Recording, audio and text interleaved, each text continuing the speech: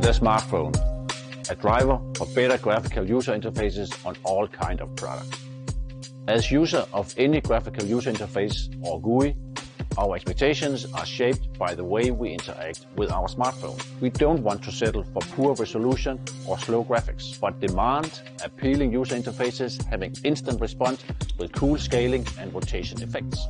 This places higher demands on the development team, and not least the microcontroller, which is the heart of most embedded display solutions. But how can you create a smartphone-like graphical experience on cost-optimized embedded products with just a fraction of the resources found in a smartphone? That's a challenge. Can it be realized? Sure it can, and let me show how.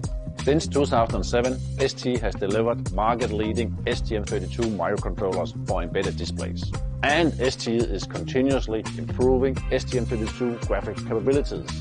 One important evolution on this journey is ST's invention of the advanced DMA function Chroma, which does fast and highly efficient pixel blending operations to support smartphone look and feel without use of the microcontroller core. Now, ST is introducing NeoChrom, a dedicated GPU inside STM32 microcontroller. NeoChrom's main function is manipulation of bitmaps like scaling, rotation, and 3D projection.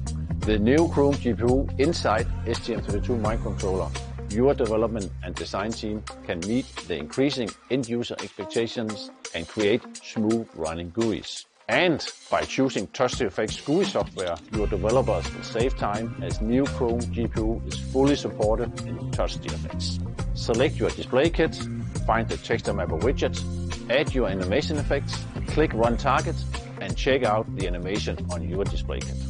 With NeoChrom, we can now perform a range of new graphics operations directly in hardware. This makes rendering much faster, meaning we'll get much higher frame rates. And since it happens in a dedicated GPU, the microcontroller is free to perform other tasks in the meantime or sleep to save power.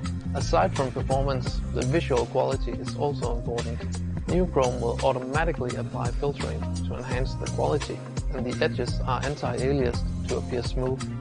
The NeoChrom GPU does this on the fly in a highly efficient manner to achieve all kinds of visual effects that are expected in a modern UI. So STM32 microcontroller embedded with NeoChrom GPU enables advanced animations. With this new STM32 technology, together with TouchGFX software, your development team can easily create amazing user interfaces that will enhance the value of your product. If you want to learn more about STM32 with NeoChrom GPU Insight, send an email to neochrome@st.com.